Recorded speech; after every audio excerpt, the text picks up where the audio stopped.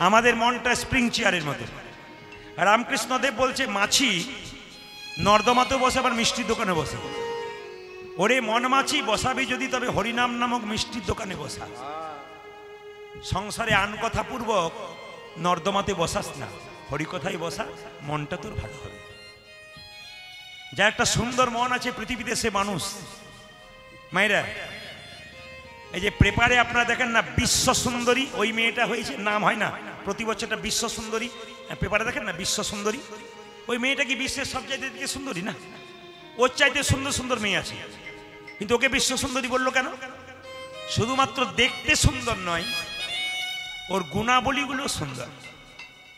কোন একজন নারী বা পুরুষ শুধুমাত্র দেখতে ভালো হবে হবে না।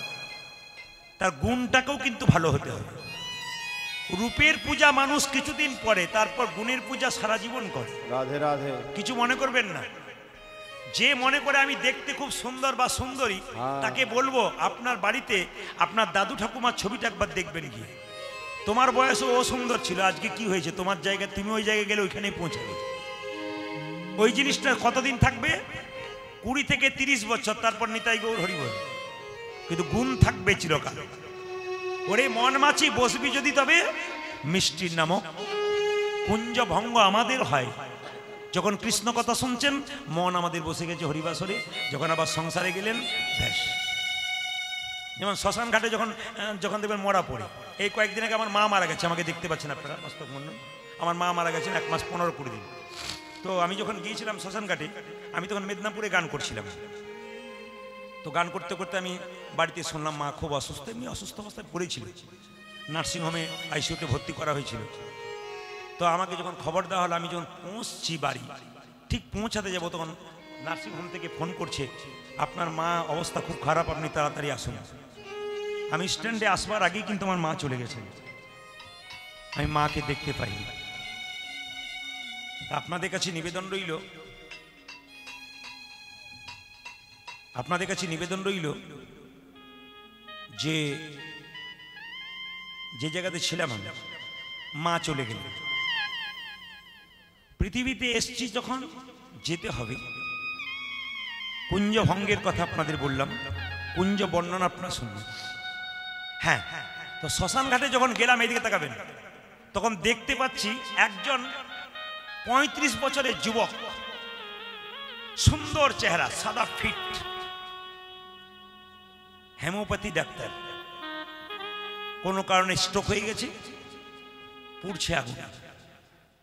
অনেকেই দেখছে আর বলছে আমাদের সঙ্গে যারা গিয়েছিল আহ কি সুন্দর চেহারা রে কত টাকার মালিক। এ চারটে গাড়ি আছে বাড়ি আছে জানি বিরাট ব্যাপার। হ্যাঁ। এ দেখ আগুনে কেমন পুড়ছে।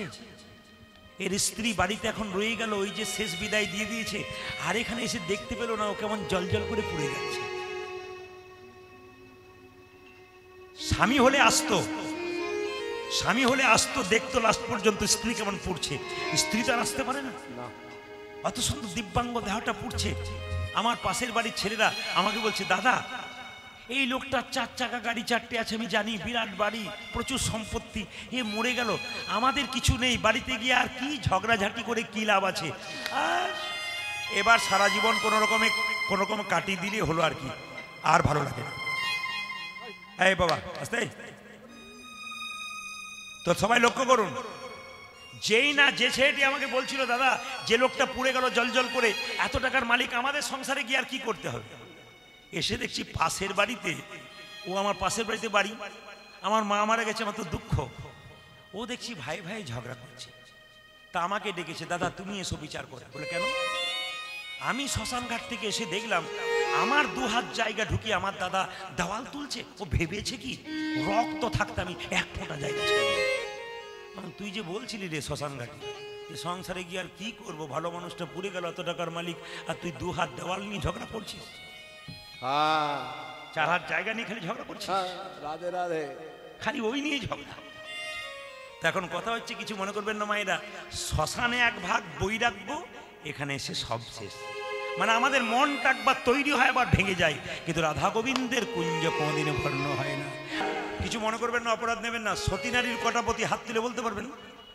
কীর্তন শুনছেন বহুদিন কটা? কটা? কটা চারটে চারটে। মায়েরা দুটো বলেছে দু চারজন এরকম করে দশটা দেখাচ্ছে। কপদ বলে কহপতি কপতি সতী নারী আচ্ছা তার আগে প্রশ্ন করি সতী নারী কাকে বলে? সকালবেলায় ঘুম থেকে উঠে স্বামীর পা ছুঁয়ে যারা প্রণাম করে তারা সতী নারী। এখানে যারা কীর্তন শুনতে এসছেন, কে কে সকালে প্রণাম করেন হাত তুলে দেন এতদিনে দাদারা মনে মনে ভাবছে, আপনি আমাদের হয়ে বললেন, কেউ বলে না। এই কথাটি আমি আপনাদের নদিয়াতে পরশু তারিখে যখনই বলেছি যে কে কে সতী নাড়িয়েছেন সকালবেলায় প্রণাম করেন মা স্বামীকে ঘুম থেকে উঠে হাত তুলে দেখান। একটি মেয়ে সামনে এসে বলছে, দাদা, কিছু মনে করবেন না। আপনার কীর্তন আমি ফ্যান। দিন নাই, রাত নাই সবার সময় আমি একটা চাকরি করি, যাই আমি গাড়িতে, আমি সবসময় আপনার গান শুনি, আপনার সব কথা রাখতে পারব, একটা কথা রাখতে পারব না। বলে, কি? কি কথা রাখতে পারবে না? বলছে, ওই কথাটি রাখতে পারব না। স্বামীকে প্রণাম আমি করব না। বলে, কারণ কি? বলছে, আমার বাবার কান মূলে দশ লাখ টাকা নিচে প্রণাম আমি করব না। এটা একটা কথা হতে পারে। এটা একটা যুক্তি হতে পারে। তবে আপনারা যখন কীর্তন শুনলেন, আমি তো দুপুরবেলায় খেয়ে দে, আমি নিতাই গৌর হরিবল বাড়ি চলে যাব। বারো দিন, দশ দিন পর পর একবার বাড়ি যেতে হয়, আবার কাল থেকে বাঁকুড়া বেরিয়ে যাব। তা আপনাদের কাছে নিবেদন রয়েছে আমি তো বাড়ি চলে যাব আপনাদের একটা নির্দেশ দিয়ে যাই আজকে কীর্তন শুনবেন, রাত্রিটা পেরোবে, কাল সকাল থেকে স্বামীকে সবাই প্রণাম করবেন। আর দাদারা সব পাগুলো একটু ধুয়ে মুছে শোবেন, ধুলোবালি যেন না থাকে, প্রণাম হবে। এখন কিছু মানে- মায়েরা, প্রণাম কিন্তু করবেন। তবে একটা কথা বলে, মায়েরা স্বামী কাকে বলে? আর পত্নী কাকে বলে? পত্নী কাকে বলে? স্বামী কাকে বলে? স্বামী যদি স্বামীর মতো হয়, তাকে স্বামী বলা হয়। আর স্বামী যদি স্বামীর মতো না হয়, তাকে আসামি বলা হয়। এতক্ষণে দু চারজন বলছেন, এই কথাটি ঠিক বললেন আপনি। কারণ যত গণ্ডগোল তো ওনার সঙ্গে, আপনি যান তাহলে বুঝতে পারবেন। মায়েরা, স্বামী আর পত্নী পত্নী পত্নীর মতো হয়, স্বামী যদি দূর থেকে আসে, তার সেবা করে, যত্ন করে, একে পত্নী। আর যদি বলে, এক গ্লাস জল দাও তো, গড়িয়ে খেতে পারছ না? ইনি কে বলুন তো? পেতনি। আপনাদের এখানে নাই, অন্য জায়গায় আছে তো কিছু মনে করবেন না, স্বামী স্ত্রীর সম্পর্কটা একটু বলব। আপনারা কিন্তু মায়েরা কিছু মনে করবেন না, স্বামী স্ত্রীর সম্পর্ক বলব, আপনারা হ্যাঁ হু দেবেন। স্বামী আপনাদের গুরু হয় বাবারা কেউ বলবেন না, সবাই তাকিয়ে দেখুন যারা ডবল ডবল এসছেন, ওনারা কি বলছেন? স্বামী আপনাদের গুরু হয়? এখানে ভয়ে কেউ বলছেন অন্য জায়গায় হ্যাঁ হুম, বলে। আর এখানে কিন্তু দু চারজন বলছে, ওর পেছন দিকে তাকাচ্ছে, দেখি আমার দল ভারী হলো। স্বামী গুরু হয়? আপনারা তো মাথা নড়াচ্ছেন, দাদা ভাইরা মনে মনে ভাবছে, বাড়ি গিয়ে দেখবেন গুরু হয় না রচনা হয়। রচনা মানে আমি সিনেমার রচনা বলি নাই মানে গরুর রচনা। গুরু হয় না রচনা হয়। আচ্ছা আপনার স্বামী আপনার দেবতা হয়? দাদারা বলছে তাহলে তো হয়েই গিয়েছিল। আচ্ছা আপনার স্বামী রোগের ওষুধ হয়? এইবার যা বলব আপনার স্বামী আপনার বাবা হয়? হয়- হয় নাকি? বাবা মায়েরা বাবা হয় না? যারা আমার কীর্তন শুনেছে তারা বলছে হয় আর যারা শোনে নাই তারা বিচার করতে পারছে না হয় কিনা স্বামী বাবা হয়। স্বামী আস্তে বন্ধ কর, নইলে একবারে নিতাই গোর হরি স্বামী বাবা হয়, স্বামী ভাই হয়, স্বামী ছেলে হয়, স্বামী বন্ধু হয়। প্রণাম কি? দেখুন, ও কাজ করতে করতে হ্যাঁ হ্যাঁ দিয়ে যাচ্ছে কিন্তু। স্বামী বাবা হয়, স্বামী ছেলে হয়। কে বলেছিল? শাস্ত্র বলেছে কে? বিষ্ণুপ্রিয়া নিমাই কে বলেছিল? নিমাই যখন সন্ন্যাস নেবে, তার দুদিন আগে প্রিয়াকে বলেছিল, প্রিয়া, তুমি বাপের বাড়ি চলে যাও। বিষ্ণুপ্রিয়ার সঙ্গে নিমাইয়ের বয়সের তফাত ছিল দশ বছর। নিমাই যখন চব্বিশ বছর বয়সে সন্ন্যাস দিল, তখন বিষ্ণুপ্রিয়ার বয়স মাত্র চোদ্দ বছর। এই চোদ্দ বছরের মেয়েটা শিখিয়ে দিয়েছে, ইতিহাসে স্বামী ভক্তি কাকে বলে? এখন তো সিরিয়াল দেখে দেখে খালি দেখছেন একটা মেয়ে, তিনটে স্বামী, তিনটে ছেলের একটি বউ। এই কাহিনী দেখে দেখে মাথাটাকে একবারে হ্যাং করে দিয়েছেন আপনারা। কিছু তো নেই, সব তো সিরিয়ালেই নষ্ট করে দিয়েছে। নাম রাখছে, বাচ্চা ছেলে, তাও সিরিয়ালের নাম দেখছে। ও যদি যাই তাহলে আমার চার দিন লাগবে অত দিকে আর যাব না। এই, এইখানটাতেই রাখি। শুনে নিন মায়েরা, বিষ্ণুপ্রিয়া বলছে, স্বামী, এটাই তো আমার বাপের বাড়ি। চুপ করো। নিমাই বলছে, কি বলছো তুমি? তোমার শ্বশুর বাড়ি? না, আমার বাপের বাড়ি। তুমি আমার বাবা, তুমি আমার ভাই, তুমি আমার ছেলে, তুমি আমার বন্ধু, তুমি আমার ইহকাল, তুমি আমার পরকাল, তুমি আমার সব। নিমাই বলল, এটা কি করে সম্ভব? লোকে আমাকে পণ্ডিত বলে, আমি নিমাই পণ্ডিত, আমি জানতে পারলাম না, তুমি জানলে কি করে? শোনো তুমি যেমন পণ্ডিত, আমি পণ্ডিতের মেয়ে, আমার বাবার নাম সনাতন মিশ্র, আমি তার কাছ থেকে শিখেছি। অপরাধ নেবেন না আমার দুটি কন্যা, একটি ভাগ্যলক্ষ্মী, একটি শুভলক্ষ্মী। দুজনেই কলেজে পড়াশুনো। ছোটটা আমাকে বলে, আমি যখন পড়াশুনো করি কোনো কিছু বাড়িতে গিয়ে, ডাক দিয়ে দিয়ে রাখি, এগুলোকে বলব, এগুলো মাথায় রাখব, এই সমস্ত। আমার পড়ার পরও কিন্তু চুপচাপ আমার পাশে বসে থাকে। আমি যখন উঠে গেলাম, তখন একবার দেখে নাই যে কি কি বাবা ডাক দিয়েছে। মানে বাবা করলে মেয়ে একবার দেখবেই। তো একবার দেখল, এবার কেউ যদি ফোন করে, তোমার বাবা বাড়িতে আছে? বলে, না। আচ্ছা এই জিনিসটা কি? মা একাদশী করলে কি কি করতে হয়? ও তখন কিন্তু বলতে শুরু করে দেয়। আমি কিন্তু চুপচাপ শুনি, ও ঠিক বলছে না, ভুল বলছে। ও দেখছে, ঠিক বলছে। তুই কোথায় পেলি? বলছে যে তুমি ডাক দিচ্ছিলে আমি দেখে নিয়েছিলাম। তার মানে এখানে প্রশ্ন হচ্ছে কি শিক্ষা বলুন তো? বাবা মা যদি সৎ শিক্ষায় শিক্ষিত হয়, তাহলে কিন্তু বাচ্চাও সেই শিক্ষা এখানে শিক্ষা পাওয়া যায়, শিক্ষিত হয়। বিষ্ণুপ্রিয়া বলছে, আমার বাবা সনাতন মিশ্র, আমি তার কাছ থেকে শিখেছি, স্বামী বাবা হয়, স্বামী ভাই হয়, স্বামী ছেলে হয়, স্বামী সব নিমাই বলেছিল, তাহলে স্বামী হয় বাবা কি করে? তুমি আমায় বুঝিয়ে দাও। শালুক ফুল শালুক ফুল, দেখেছেন মায়েরা শালুক ফুল? সন্ধ্যাবেলায় ফোটে, সকালবেলায় মুজে যায়। আর পদ্ম ফুল সকালবেলায় ফোটে, সন্ধ্যাবেলায় মুজে যায়। তা ভ্রমর কি করে? সারা রাত্রি শালুক ফুলের মধু পান করে, ওটা কুমুদ বলা হয়, কুমুদ। শালুক ফুলের মধু পান করে। যখন সকাল হয় না, ফুলটা এই দিয়ে তাকান, ফুলটা এরকম ছিল। সকাল হতে হতে ফুলটা আস্তে আস্তে এরকম হচ্ছে। ভ্রমর কি করে? একবার ওঠে, একবার বসে। কেন বলুন তো? যদি সকাল হয়ে যায়, সূর্য উঠছে, এবার যদি ফুলটা মুজে যায়, ভেতরে রয়ে যাব। যেমন ভ্রমর একবার উঠছে, একবার বসছে। এখন রাধারানী, কুমুদিনী, কৃষ্ণ ভ্রমর কৃষ্ণ মনে মনে ভাবছে, এবার তো বেলা বয়ে যাচ্ছে, সকাল হয়ে যাচ্ছে, রাধারানী চলে যাবে, রাধার মায়া ছাড়তে পারছে না। রাধারানী কটা বান্ধবী ছিল? আটজন প্রিয় বান্ধবী। বাকি অনেক ছিল আটজন প্রিয় বান্ধবী। তো রাধারানী আর গোবিন্দ স্মরণ করে আছে, ললিতা, বিশাখা, চিত্রা চম্পকলতা ইন্দুরেখা, তুঙ্গবিদ্যা, সুদেবী আর রঙ্গদেবী। এরা কি করছে? দেখছে এক এক করে যে রাধা গোবিন্দ কেমন করে শুয়ে আছে। একটু দর্শন করুন। সবাই, রাধা গোবিন্দ শুয়ে আছে? তো ললিতা গিয়ে বলছে, আমি কি দেখলাম জানিস? আমি কি দেখলাম? কুসুম সে জপরি কি এখন তো র্যাগ কম্বল উঠেছে না, কি বলছেন? ওটা কি নাম বলছে? ব্ল্যাঙ্কেট, নাকি? এখন তো ব্ল্যাঙ্কেট লেপ তো চলে গেছে। আগে তুলোর লেপ ছিল। রাধা গোবিন্দ শুয়ে আছে কেমন? কুসুমে কুসুম, কুসুমে সেজ পড়ি মানে ফুলের ফুলের বিছানা। রাধা গোবিন্দ শুয়ে আছে চারিদিকে সখীরা ফুল পেতে দিয়েছে যেন কোনো আঘাত না লাগে শরীরে ফুলের। তুলবো অন্ন দানে পিতা সম রতি দানে পতি। অন্নদানে পিতা সম রতিদানে পতি। অন্ন দানে পিতা সম রতি দানে পতি। পূজারি অন্নদান পিতা সম রতিদান প্রতি মেয়েদের যখন বিয়ে হয় না অন্য জোগাড় করে কি? স্বামী। আচ্ছা সুন্দর কীর্তন শুনছেন? হ্যাঁ। মেয়েদের যখন বিয়ে হয় না আমি যখন অন্য জোগাড় করে স্বামী তো হ্যাঁ। কি ভক্তি আমি যা বলব তাই ঠিক। অন্ন জোগাড় করে বাবা আর যখন বিয়ে হয় তখন কে জোগাড় করে? স্বামী। স্বামী অন্নদাতা পিতা। অন্নদানে পিতা সম অন্নদানে পিতা। সম রতিদানে পতি। পিণ্ডদানে পুত্র সম অবতীর গতি। পূজারি পিণ্ডদানে পুত্র সময় গতি জগতি দেখো পিণ্ডদানে পুত্র সময় গতির গতি। পুত্র সময় গতি জগৎ স্বামী স্ত্রী বেঁচে আছে ছেলে মেয়ে নাই আগে স্ত্রী মারা গেল পিণ্ড দেবার অধিকার তার স্বামী স্বামী ছেলের ভূমিকা গ্রহণ করে। স্বামী স্ত্রী বেঁচে আছে ছেলে মেয়ে নাই পিণ্ড দেয় কে? তার স্বামী।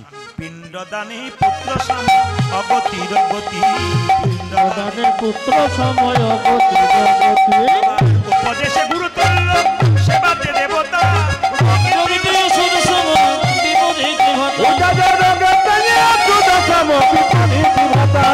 পতি পুত্র পতি পিতা পতি পুত্র পতি পিতা পতি পুত্র পতি পিতা পতি পুত্র পতি পিতা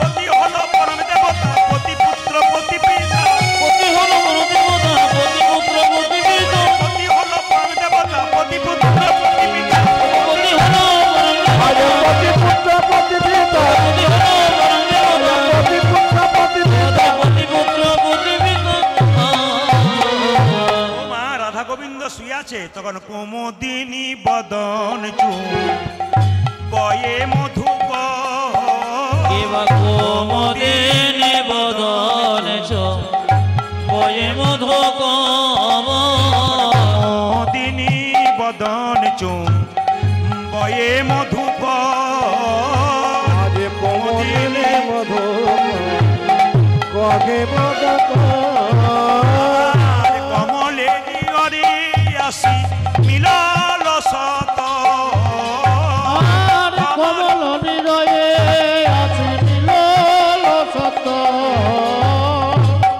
বলে নিগরে আসি মিলাল সত গমরে মিলরে আসি মিলল সত একবার ওঠে একবার বসে। একবার ওঠে একবার বসে। একবারই ওঠে একবার বসে। একবার ওঠে একবার বসে।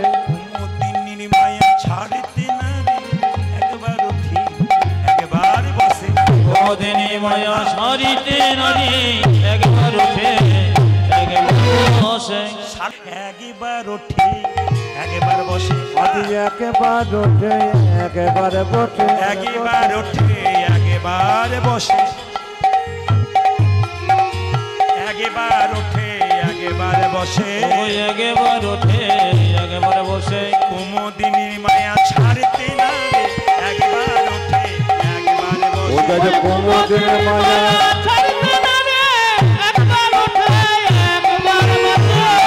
শেখর শেখরি কহে হাসিয়া হাসিয়া। অবশ্যে খরসে খরি কয়ে হাসে যে হাসি যায়। শেখর শেখরি কহে হাসিয়া হাসিয়া। পূজা যে শেখরে হাসিয়া হাসিয়া। চোর হয়ে সাধুর মতো রয়েছ সুতিয়া।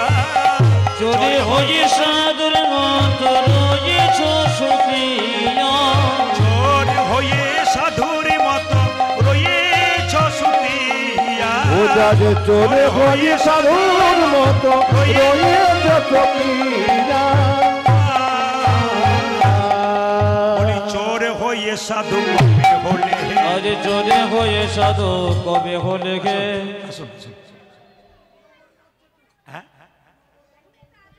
অন্য করে হ্যাঁ? নগরে যাবে। চোর হয়ে সাধু কবে হলে হে। চিরকাল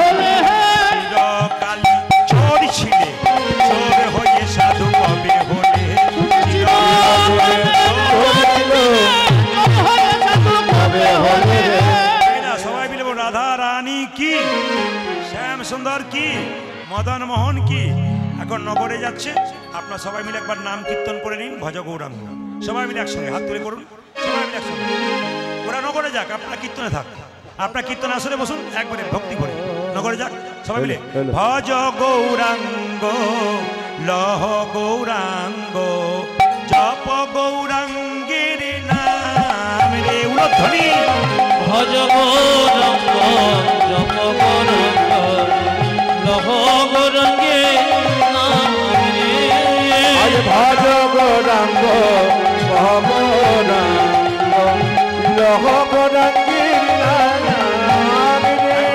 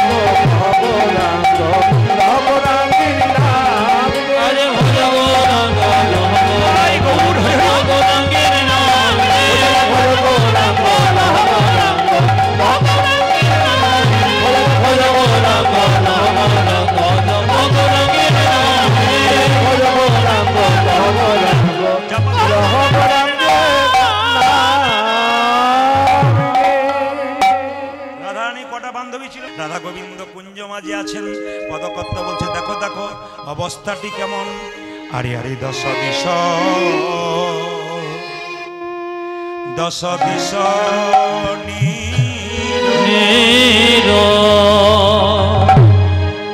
ও নিরমলা